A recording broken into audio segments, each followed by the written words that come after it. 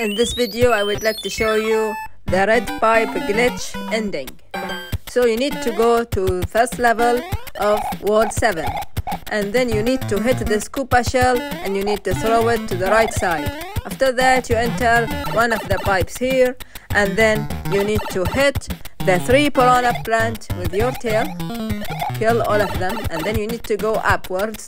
And now you need to hit the Koopa shell with your tail and grab it with you and you hit upwards okay? After that you need to hit the one on your hand on this left side. And then you need to whack this one with your tail and hit it on the right side of the block.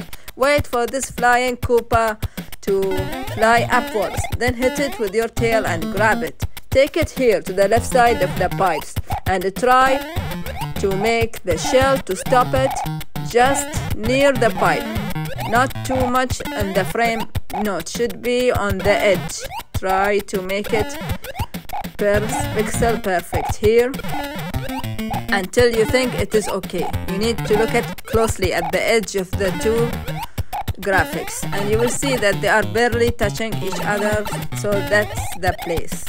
And now you need to get hit by this Koopa and then you need to wait here and face the right side. You need to wait until it will wake up. When you see it it's about to wake up you enter the pipe. And now you need to hit down directly once you get hit by the Koopa and now you need to enter the red invisible pipe here. You need to jump and press down. That's it. And now if you are lucky you will get the glitch ending of the game.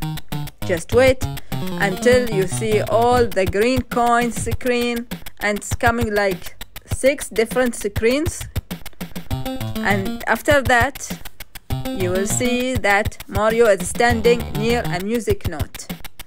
When you see him there, you need to jump and you will see the glitched ending.